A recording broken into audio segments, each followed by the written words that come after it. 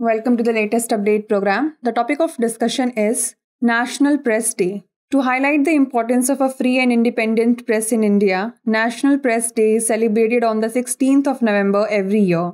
The Press Council of India is a free acting body.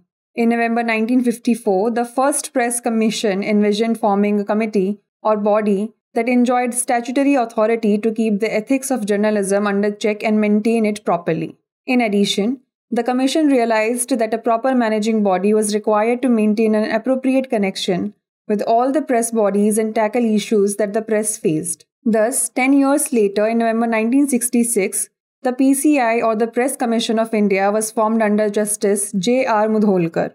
It was formed to monitor the proper functioning of the Indian media and press checking the quality of the reporting. After the Press Council of India was established on the 4th of July, it started functioning from the 16th of November. To commemorate the establishment of the body, the day is celebrated as the National Press Day of India. This year, National Press Day 2023 will mark the 57th anniversary of the Press Council's establishment.